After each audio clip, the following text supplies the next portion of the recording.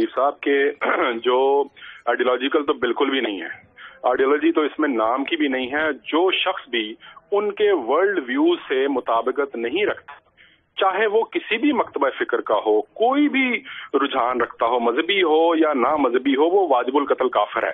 کوئی بھی ہو، یہ جو لوگ آج ان کی طرف سے تعویلیں پیش کرتے ہیں یا ان کے حمایتی ہیں یا ان کو شہید کہتے ہیں یا کسی نہ کسی طریقے سے ان سے ہمدردی کا جذبہ رکھتے ہیں وہ سب کے سب بھی ان کے نزدیک واجب القتل کافر ہیں، کیونکہ یہ وہ لوگ ہیں جو جو جو جو ان کے ورلڈ ویو سے مطابقت نہیں رکھے گا نا وہ ان کے ان سے باہر ہے۔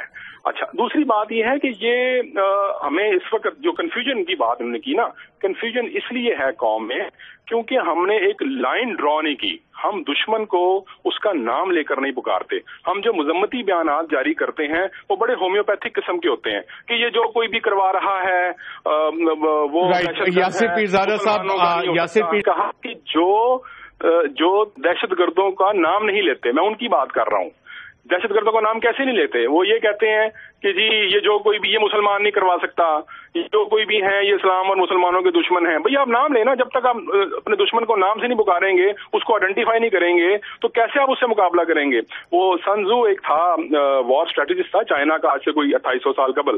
اس نے کتاب لکھی تھی آرٹ آف وار اور اس میں اس نے ایک بات یہ کی تھی کہ اگر آپ خود کو نہیں پہچانتے اور اپنی اپنے دشمن کو بھی نہیں پہچانتے تو آپ کے جنگ جیتنے کے امکانات جو ہیں وہ نہ ہونے کے برابر ہیں۔ لیکن اگر آپ خود کو جانتے ہیں اور دشمن کو نہیں جانتے تو آپ کے جنگ جیتنے کے امکانات امکانات نہیں پیش کرتے پاکستان کا جو لائف سٹائل ہے یا نہیں ہے جی۔ کسی نے امریکہ سے یا برطانیہ سے آ کے ہمیں مجبور نہیں کیا کہ ہم کوئی لائف سٹائل اپنا لیں۔